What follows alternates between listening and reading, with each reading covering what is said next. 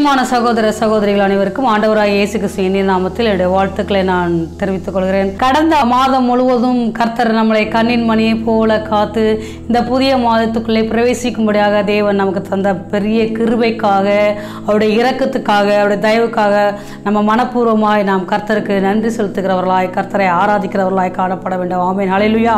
இந்த கொரோனா நாட்களில் எவ்வளோ பேர் பாதிக்கப்பட்டாங்க எவ்வளோ பேர் இறந்து போனாங்க. நிறைய பேர் வந்து பார்த்திங்கன்னா ஆகாரம் இல்லாமல் கஷ்டப்பட்டாங்க. நிறைய பேருக்கு வேலை போயிடுச்சு ஆனால் எல்லா சூழ்நிலைகளிலும் தேவன் நம்மோடு கூட இருந்து நம்மளை பாதுகாத்து வந்திருக்கிற கரங்களை உயர்த்தி நாம் கர்த்தருக்கு ஒரு அலேலியா சொல்லி நாம் கர்த்தருடைய நாமத்தை நாம் மகிமைப்படுத்துவோம். இந்த மாதமும் உங்களுக்கு மிகுந்த ஒரு ஆசீர்வாதமான ஒரு மாதமாய் கூட இருக்கும் என்பதில் எந்த விதமான சந்தேகமும் கிடையாது. நான் கர்த்தரிடத்தில் ஜெபித்தேன். ஆண்டவரே இதை பார்த்து கொண்டிருக்கிறதான இந்த யூடியூப் சேனல் ஜனங்களுக்காக மக்களுக்காக ஆண்டவரே உங்களுடைய பிள்ளைகளுக்காக நீர் என்ன வார்த்தையை நீங்கள் சொல்கிறீங்க அப்படின்னு சொல்லிட்டு நான் கர்த்தருடைய சமூகத்தில் நான் காத்திருக்கும் போது கர்த்தர் எனக்கு ஒரு வார்த்தையை கொடுத்தார். அந்த வார்த்தையை தான் இன்றைக்கு நான் உங்களுக்கு வாசிக்கிறேன் பாருங்க. யோசுவா புஸ்தகம் ஒன்றாம் அதிகாரம் ஒன்பதாம் வசனத்தை நான் உங்களுக்காக வாசிக்கிறேன். நான் உனக்கு கட்டளையிட்டவர் இல்லையா? பலம் கொண்டு திடமனதாயிரு திகையாதே கலங்காதே. நீ போகும் இடமெல்லாம் உன் தேவனாகிய கர்த்தர் உன்னோடு கூட இருக்கிறார். ஆமேன். ஹalleluya. கர்த்தருடைய ஆவியானவர் சொல்லிட்டே இருந்தாரு நீ போகும் இடமெல்லாம் உன்னோடு கூட இருக்கிறார். கர்த்தர் என்ன பண்றாராம் நீ போகிற இடமெல்லாம் நீ எங்க போறியோ எந்த இடத்துக்கு போறியோ அங்கெல்லாம் கர்த்தர் எனக்கு ஒரே ஆச்சரியமா இருந்தது ஆண்டவரே. யோசுவாட்டில் வந்து கர்த்தர் வந்து பேசும்போது மோச இஸ்ரவேல் ஜனங்களை அவர் எகிப்திலிருந்து இருந்து அழைத்து கொண்டு வந்தார். வழியில எத்தனையோ பிரச்சனைகள் ஆகாரம் இல்லை தண்ணி இல்லை அந்த இடத்துல முறுமுறுக்கிறாங்க. பத்து முறை இதுவரை என்ன முறுமுறுத்தாருன்னு சொல்கிறாங்க சொல்றாங்க. நிறைய பிரச்சனைகளை சந்திச்சாங்க. பதினோரு நாள்ல போக வேண்டிய இடத்த வந்து பார்த்தீங்கன்னா நாற்பது வருஷம் அவங்க தள்ளிட்டு போயிட்டாங்க. ஆனால் எல்லாருமே வனாந்திரத்தில் மடிந்தார்கள். அவருடைய பிள்ளைகள் தான் இப்போ யோசுவாவின் காலத்தில் அந்த காணான்குள்ளே அவருடைய பிரவேசிக்கிறவர்களாய் காணப்படுகிறார்கள். மோசே தேவனோடு கூட ஒரு முகமுகமாய் பேசிட்ட ஒரு மனிதனாய் கூட காணப்பட்டார். நியாய பிரமாணங்களை கர்த்தரிடத்தில் வாங்கி கொடுத்தார். நிறைய காரியங்களை அவர் ஆசரிப்பு கூடாரத்தை கட்டினார். அவர் மக்களுக்கு மிகுந்த ஒரு ஆசீர்வாதமான ஒரு தேவ மனிதனாய் கூட காணப்பட்டார். இப்போ மோசே இறந்த உடனே இந்த பொறுப்புகள் எல்லாமே யார் இடத்துக்கு வருகிறது என்று சொன்னால் யோசுவாவின் இடத்தில் வருகிறது. இப்போ யோசுவா தான் அதை தலைமை தாங்கி நடத்த வேண்டிய ஒரு சூழ்நிலை எகிப்தை விட்டு ஜனங்கள் புறப்படும் போது ஆறு லட்சம் ஜனங்கள் புறப்பட்டார்கள். ஆனால் பரிசுத்தவான்கள் சொல்கிறார்கள் மொத்த ஜனங்கள் இருபது லட்சம் என்று சொல்லி ஹalleluya. இருபது லட்சம் ஜனங்களுக்கு ஒரு தலைவன் அவர் யோசுவாவா இருக்கிறார். இப்பொழுது மோசையை மறித்த பின்பு யோசுவா அவர் கலங்குற நபராய் கூட காணப்படுகிறார். அங்க ஒன்றாம் வசனத்தில் பார்க்கிறோம் கர்த்தருடைய தாசனாகிய மோசையை மறித்த பின் கர்த்தர் மோசையின் ஊழியக்காரனான நூனின் குமாரன் யோசுவாவை நோக்கி ஃபஸ்ட்டு வாசிக்கிறோம் கர்த்தருடைய தாசனாகிய மோசையை மறித்த பின்ன கர்த்தருடைய தாசன் கர்த்தரோடு இருந்த ஆளு அவர் மறிச்சிட்டாரு ஆனா யோசுவாவுக்கு என்ன பேர் கிடைக்குது பாருங்களேன். கர்த்தர் மோசையின் ஊழியக்காரனான யோசுவாவை நோக்கி மோசே கர்த்தருடைய ஊழியக்காரரு ஆனா யோசுவா யாருடைய ஊழியக்காரன்? யோசுவா மோசையின் ஊழியக்காராய் கூட காணப்பட்டார். ரெண்டுக்கும் வந்து பெரிய ஒரு வித்தியாசம் இருக்குதுங்க. அப்போ வந்து பார்த்தீங்கன்னா மோசையை சொன்னதெல்லாம் அவர் யோசுவா கேட்டுக்கொண்டு இருந்தார் அவர் மோசையை உபாசம் ஜெபிக்கும் போது அவர் மலையின் அடிவாரத்தில் அவரும் நாற்பது நாள் அங்கே வந்து உட்கார்ந்து இருக்கிறார் யோசுவாவை குறித்து நம்ம வாசிக்கும் போது ஆசரிப்பு கூடாரத்தை விட்டு இரவு பகல் பிரியாத ஒரு வாலிபன் யோசுவா என்று சொல்லி நாம் வேதத்தில் வந்து வாசிக்கிறோம். அப்படிப்பட்ட யோசுவா வந்து கத்த சொல்றாரு அவரை வந்து பார்த்தீங்கன்னா மோசையின் ஊழியக்காரன் ஆகிய யோசுவாவை நோக்கி சொல்றாரு என்ன பண்றா நீ அந்த வசனம் ஒரே ஒரு வார்த்தை சொல்ல நீ போகும் இடமெல்லாம் உன் தேவனாகிய கர்த்தர் உன்னோடு கூட இருக்கிறார். அவரோடு கூட கர்த்தர் இருந்தாரு. ஆயி பட்டணத்தை ஜெயிச்சாரு எரிகோ பட்டணத்தை ஜெயிச்சாரு. காணான்குள்ள இருக்கிறதான ஏழு பெரிய ஜாதிகள் அந்த ஏழு பெரிய ஜாதிகளை தான் இந்த பனிரெண்டு வேவுக்காரர்கள் வந்து பார்த்துட்டு வந்துட்டு நூலின் குமாரா யோசுவாவையும் காலப்பையும் தவிர மற்ற பத்து பத்து பேரும் டிஸ்கரேஜ் ஆன வார்த்தைகள் நெகட்டிவான வார்த்தைகள் அவங்க பேச ஆரம்பிச்சாங்க. அங்க என்ன பேசினாங்க நம்ம ஏற்கனவே ஒரு டைம் பார்த்துருக்குறோம். உங்களுக்கு தெரியும். இருந்தாலும் உங்களுக்கு ஞாபகப்படுத்தும்படியாக நான் சொல்லுகிறேன். அங்கே ராட்சசர்களை கண்டோம். அவர்கள்லாம் பெரிய பெரிய ஆளாக இருந்தாங்க அப்படின்னு சொல்கிறாங்க அவங்க வந்து நம்ம கண்டிப்பாக அவங்க பார்வைக்கு நாங்களாம் ஒரு வெட்டுக்கிளிகளை போல இருந்தோம் அப்படிங்கிறாங்க பார்த்துக்கோங்க. ஆனால் காலைப்பும் யோசுவாவும் சொல்கிறாங்க இல்லை இல்லை நம்ம அதை ஈஸியாக போய் நம்ம என்ன பண்ணிக்கலாம் அதை சுதந்திரித்து கொள்ளலாம் அப்படின்னு சொல்லி அவங்க சொல்கிறாங்க பார்த்துக்கோங்க. அப்போது கானான் தேசத்தில் இருக்கிற ஜனங்கள் அவர்களை குறித்த ஒரு சாட்சி எப்படி வந்தது வனாந்திரத்திற்கு? அவர்களுடைய பார்வைக்கு நாங்கள் வெட்டுக்கிளிகளை போல இருந்தோம். நல்லா பாருங்கள் இப்போ வெட்டி வெட்டுக்கிளிகளை நம்ம பார்க்கும்போது எப்படி இருக்கும் பாருங்க. ஒரு சின்னதா எங்கேயோ ஒரு செடியில உட்காந்துருக்கும் ஒரு இலையில உட்காந்துருக்கும் அப்படிதான் இது தெரிஞ்சாங்களாம் அந்த இஸ்ரேவேல் ஜனங்களை ஏன்னா இஸ்ரேவேல் ஜனங்களை குறித்து பார்க்கும்போது அவர்களாம் நல்ல பராக்கிரமசாலியாக காண்டாமிருகத்துக்கு ஒத்த பலன் இருந்தது. அவங்களே அப்படி ஒரு வார்த்தை சொல்கிறாங்கன்னா அப்போ காணானுக்குள்ளே எப்படிப்பட்ட ஜாதிகள் அங்க இருந்திருப்பாங்க? எப்படிப்பட்ட ராட்சசர்கள் இருந்திருப்பாருன்னு பாருங்க. அருமையான கர்த்தருடைய பிள்ளைகளை கர்த்தராகிய தேவன் தாமே யோசுவாவை நோக்கி சொல்லுகிறார் நீ போகும் இடமெல்லாம் உன் தேவனாகிய கர்த்தர் உன்னோடு கூட இருக்கிறார் என்று சொல்லி. அருமையான தேவனுடைய பிள்ளைகளே இந்த மாதத்திலே நீங்கள் எப்படிப்பட்ட சூழ்நிலைகளிலே நீங்கள் இருந்தாலும் சரி ஒருவேளை நீங்கள் நம்பினவர்கள் அவர்கள் வந்து இப்போ பார்த்தீங்க யோசுவா மோசியை நம்பி இருந்தார் நல்ல ஒரு தலைவன் இருக்கிறார் கர்த்தரோடு கூட பேசுகிற ஒரு தலைவன் இருக்கிறார். ஸோ நம்ம எல்லாம் காணானுக்குள்ளே கொண்டு போவார் அப்படின்னு சொல்லிட்டு ரொம்ப தைரியமா ரொம்ப நல்ல பலனா நல்ல உற்சாகமா இருந்தார். அவர் ஆசரிப்பு கூடாரத்தில் இருந்தார். ஆனால் மோசியை மதித்த பின்பு தான் இவருக்கு ஒரு பயமே வந்திருக்குது. இல்லைன்னா கர்த்தர் பாருங்க அந்த இடத்துல சொல்கிறார் நீ பலம் கொண்டு திடமானதாயிரு.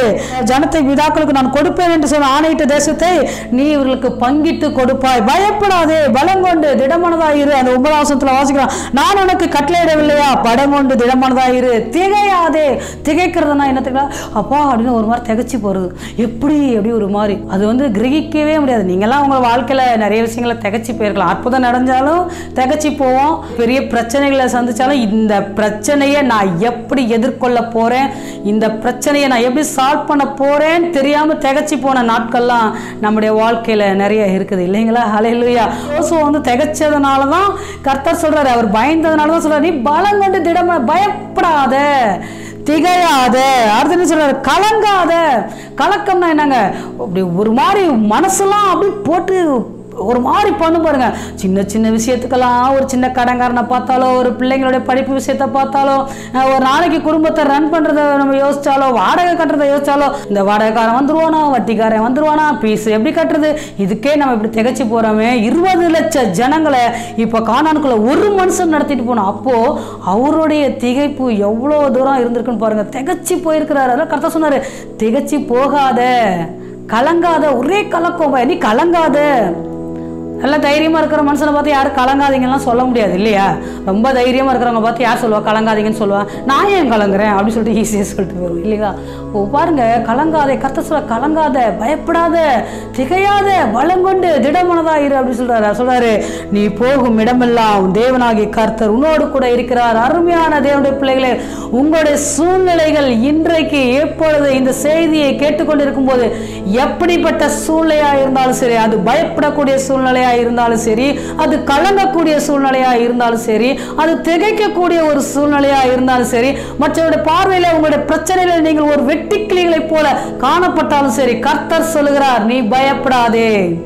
ஐயோ இந்த மலை போல பிரச்சனையை நான் எப்படி சார் பயப்படாத? அதை குறித்து நீ யோசிக்காத அதை குறித்து கலங்காத? உன் தேவனாகிய கர்த்தர் உன்னோடு கூட இருக்கிறார். ஹalleluya அன்னைக்கு யோசுவாக்கு மாத்திரம் இல்ல நான் ஜெபிக்கும் போது பரிசுத்த ஆவியானவர் சொன்னார் உன் தேவனாகிய கர்த்தர் நீ போகிற இடமெல்லாம் உன்னோடு கூட இருக்கிறார். எங்க போனாலும் சரி எந்த காரியத்துக்கு போனாலும் சரி எல்லா காரியத்திலையும் கர்த்தர் உங்களோடு கூட இருக்கிறார். ஆமீன். ஹalleluya அருமையான தேவனுடைய பிள்ளை இந்த மாதம் உங்களுக்கு மிகப்பெரிய ஆசீர்வாதமான ஒரு மாதமாய் காணப்பட போகிறது. நீங்க போற இடம் தாங்க இந்த காணான் தேசத்துக்குள்ள வெட்டிக்கிளிகள் இருந்தாங்களே வெட்டிக்கிளிகளை போல இவங்க தெரிஞ்சாங்க. அவங்க பெரிய மலை மாதிரி ராட்சசர்களா இருந்தாங்க இவங்க வெட்டிக்கிளை போல இருந்தாங்க.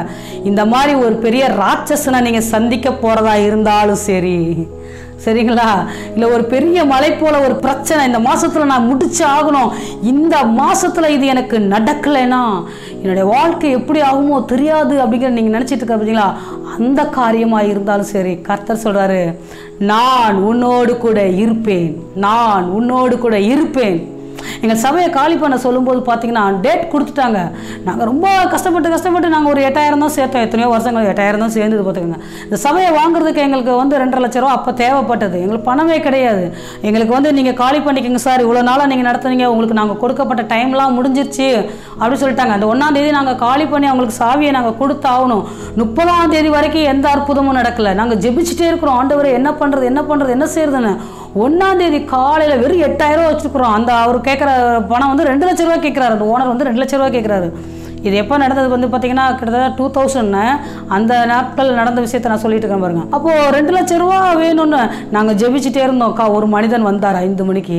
ஒரு மனிதன் ஐந்து மணிக்கு வந்தோடனே ஒரே சந்தோஷமாயிடுச்சு. ஏதோ கர்த்தர் ஒரு அற்புதம் செய்ய போகிறாங்க அவர் வந்து பாஸ்டர் எங்களுக்கு உடம்பு சரியில்லை. எனக்காக ஜெபம் பண்ணுங்கனாரு ஆனால் அந்த சூழ்நிலையை ஒரே ஒரே கலக்கத்தோடு கூட எங்கள் போதகரையை அவங்களுக்காக ஜெபம் பண்ணி ஆசிர்வச்சு அனுப்பிச்சாரு. நாங்கள் மணியை பார்த்துட்டே இருக்கிறோம். மணி ஏழாச்சு எட்டாச்சு ஒம்போதாச்சு திடீர்னு பார்த்தீங்கன்னா ஒரு கார் வந்து எங்கள் வாசப்படியாண்ட நின்றுச்சுங்க எங்கள் சர்ச்சு வாசப்படியானே ரெண்டு பேர் கணவன் மனைவி ரெண்டு பேரும் இறங்கி வந்தாங்க. வசந்திக்கு நீங்கள் வீ சர்ச்சை காலி பண்ணணும்ல அப்படின்னு சொல்லி கேட்டாங்க. ஆமான்னு சொல்லி சொன்னாங்க. சொன்னாங்க. இந்த பணத்தை நாங்கள் கொடுக்குறோம். நீங்கள் சர்ச்சை இடத்த வாங்குங்கன்னு சொன்னாங்க. ஹalleluya. பெரிய திகைப்பு பெரிய ஒரு போராட்டமான ஒரு சூழ்நிலை. ஹalleluya. அந்த நேரத்தில் கர்த்தர் எங்களோடு கூட இருந்து அந்த சரியாய் ஒரு ஒரு நாள் கூட முன்ன பின் ஆகாம அந்த சரியான நேரத்தில் எங்களுக்கு வந்து வந்து உதவி செஞ்சார் பாருங்க. அவர்களை கொண்டு கர்த்தர் உதவி செஞ்சார். அருமையான தேவடி பிள்ளைங்க நீங்கள் அப்படி ஒரு பிரச்சனைகளை எதிர்கொள்றீங்களா? கவலைப்படாதீங்க. கர்த்தர் சொல்லுகிறார் நீ பலம் கொண்டு திடமனதா இரு கலகாதே திகையாதே. நான் உன்னோடு கூட என்ன பண்றேன் நீ போற இடம்லாம் நீங்க இப்ப எங்க போனீங்கனாலும் சரிங்க. இப்போ யோசேப்பு போனார். எங்கே போனார் யோசேப்பு? குழிக்குள்ளே போனார். அவங்க அண்ணன் அண்ணங்களா தூக்கி குழிக்குள்ளே தான் போட்டாங்க. கர்த்தர் அவனோட கூட இருந்தார். அப்புறம் எங்கே போனாங்க? குழியிலேருந்து தூக்கி விட்டு எங்கே போனாங்க? அவர் என்ன ஒரு வேலைக்காரனாக போத்திப்பார் வீட்டுக்கு போகிறார் அங்கேயும் என்ன பண்ணார்? கர்த்தர் அவனோடு கூட இருந்தார். அப்புறம் அங்கேருந்து ஒரு பிரச்சனையாகி எங்கே போனார்? ஜெயிலுக்கு போனார். அங்கேயும் கர்த்தர் என்ன பண்ணார்? யோசேப்போடு கூட இருந்தார். அவன் செய்கிற காரியங்கள்லாம் வாய்த்தது. ஜெயிலிருந்து வெளியே வந்தார்.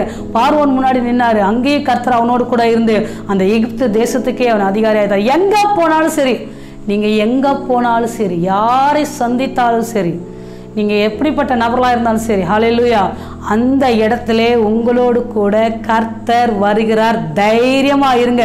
இந்த இந்த மாதம் முழுவதும் நீங்கள் என்ன காரியங்கள்லாம் செய்கிறீங்களோ எதுக்கெல்லாம் நீங்கள் முயற்சி எடுக்கிறீங்களோ அத்தனை காரியங்களும் உங்களுக்கு வாய்க்கும் ஒருவேளை பிஸ்னஸ் ஆரம்பிக்கிறதுக்கு யாரையாவது சந்திக்க போறீங்களா தைரியமா போங்க.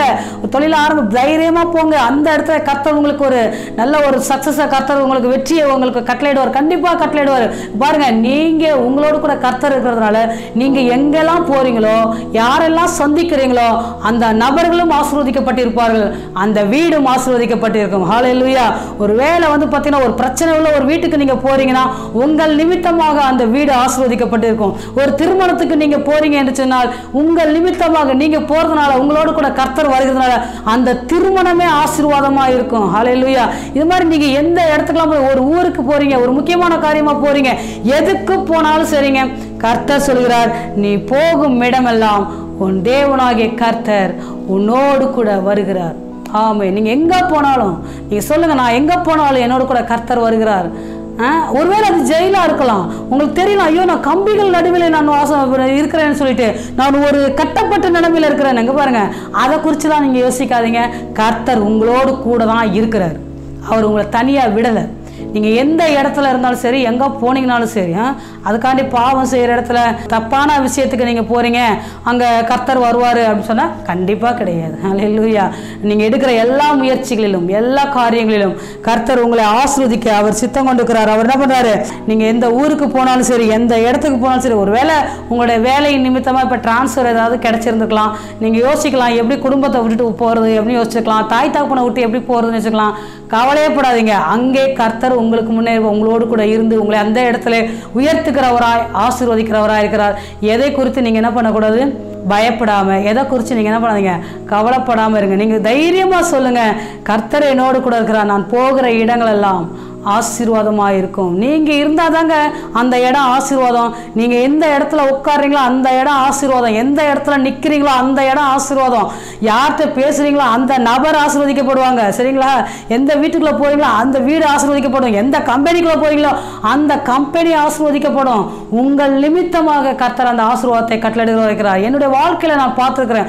நான் இதை ஒரு வந்து சாதாரண ஒரு ஆளாக போய் ஒரு கம்பெனியில் ஜாயின் பண்ணேன். அப்போ தான் அந்த கம்பெனியில் ஒரு ஃபாரின் கம்பெனியை வந்து பார்த்துக்கோங்க. அங்கே ஒரு வந்து எனக்கு ஜாயின் பண்ணும்போது சும்மா சாதாரணமாக தான் ஜாயின் பண்ணேன். நிறைய படித்த பட்டதாரிகள்லாம் இருந்தாங்க. ஆனால் கர்த்தர் பாருங்கள் அந்த இடத்துல எனக்கு ஒரு உயர்வை கொடுத்து என்னை அந்த இடத்துல முத முத சூப்பர்வைசராக போட்டாங்க. சூப்பர்வைசராக போடும்போது என்ன பண்ணாங்கன்னா நான் நாலு பிரான்ச்சை வந்து என் கையில் கொடுத்தாங்க. கிட்டத்தட்ட முந்நூறு பேருக்கு மேலே என் இடத்துல வந்து அவர்கள் வேலை செய்தார்கள். நான் என்ன தெரியுங்களா செய்வேன்? காலையில் என்னுடைய கம்பெனிக்குள்ள அவர் வந்து ஒரு சைனாக்கார் வந்து பார்த்துக்கோங்க. அவர் வந்து என்ன பண்ணுவாங்கன்னா அந்த விக்கிரகாரத்தில் ரொம்ப அதிகமாக பண்ணக்கூடியவர் அந்த பாஸ் அந்த பாஸ் மாத்திரம் இல்லை அங்கே உள்ள மேனேஜர் வந்து எல்லாருமே அப்படி தான் இருந்தாங்க. ஆனால் நான் மட்டும் என்ன தெரியுமா பண்ணுவேன்? அங்கே போனவொடனே அந்த காலண்டர் ஒன்று மாட்டி வச்சிருப்பேன். அந்த வா- தங்க வாக்கிய காலண்டர் அப்போல்லாம் இருந்தது. மாட்டி வச்சுட்டு எல்லாரும் வசனம் படித்தாகணும் எல்லாரையும் நிற்க வச்சு ஒரு ப்ரேயர் பண்ணி அப்புறம் தான் அந்த வேலையிலே நான் உட்கார வைப்பேன். சேலஞ்ச் பண்ணாங்க. இந்த ப்ராடக்டை ஒரு நாளைக்கு நூறு தான் பண்ண முடியும். நூறுக்கு மேலே பண்ணவே முடியாது சொன்னாங்க. நான் ஒரு பிள்ளைக்கு ட்ரைனிங் கொடுத்து அவளை உட்கார வச்சேன். உட்கார வைக்கும்போது அது எப்படி நூறு தான் முடியும்? வேற சான்ஸே இல்லைன்னு சொல்லிட்டு அந்த பாஸ் சொன்னார் அந்த மேனேஜர் சொல்கிறாரு எல்லாரும் சொன்னாங்க. நான் ஆயிரத்தி நூறு செய்ய வச்சேன் ஒரே நாளில். கிட்டத்தட்ட எத்தனையோ மடங்கு. உடனே அவங்க பார்த்தாங்க எனக்கு வந்து நிறைய பிரான்ச்சஸ் கொடுத்து என்னை ரொம்ப ஹை லெவலில் வந்து அவங்க உயர்த்தி என்னை ரொம்ப ஆசீர்வாதமாக வச்சுருந்தாங்க. அதே இன்னும் ஒரு ரெண்டு கம்பெனி அதே மாதிரி தான் இருந்தது. நான் போகும்போது கம்பெனியெல்லாம் ஆசீர்வாதமாக இருந்தது. அருமையான தேவனுடைய பிள்ளைகளே நான் என்ன சொல்ல வரேங்களா தேவன் உங்களோடு கூட இருக்கிறார். கர்த்தர் உங்களோடு கூட இருக்கிறார். நீங்கள் எங்கெல்லாம் போறீங்களோ அந்த இடமெல்லாம் ஆசீர்வதிக்கப்பட்டிருக்கும். அந்த இடமெல்லாம் ஆசிர்வதிக்கப்பட்டிருக்கும். சரிங்களா? அதாவது நான் என்ன சொல்கிறேன்னா சொல்லுவாங்களே மொட்டாக இருந்தால் கூட மலர்ந்துருவீங்க அந்த மாதிரி. அதாவது ஆ, உங்கள் கால்பட்ட இடம்லாம் எப்படி இருக்கும்? அது வந்து பட்டு போயிருந்தால் கூட அது ஒரு நல்ல செழுமையான ஒரு புஷ்பத்தை போல ஒரு நல்ல புல்வெளியை போல மாறி போகும். வனாந்திரம் கூட நீங்கள் கால் வைக்கும்போது அது வனாந்திரம் கூட அந்த வயல்வெளியாய் மாறி போகும். அப்படிப்பட்ட ஒரு பெரிய தெய்வம் உங்களோடு கூட இருக்கிறார். பயப்படாதீங்க. கர்த்தர் சொல்கிறார் நீ பயப்படாதே. நீ போக இடலாம். உன் தேவனாகிய கர்த்தர் உன்னோடு கூட இருக்கிறார். எப்படி யோசுவாவோடு கூட கர்த்தர் இருந்தாரோ அதே போல மோசையோடு கூட இருந்த கர்த்தர் யோசுவாவோடு கூட இருந்தார். யோசுவாவோடு கூட இருந்த கர்த்தர் இன்றைக்கு உங்களோடு கூட இருக்கிறார். தைரியமாக செய்யுங்க. கர்த்தர் தாமே உங்களை ஆசிர்வதிப்பாராக. ஆமேன்.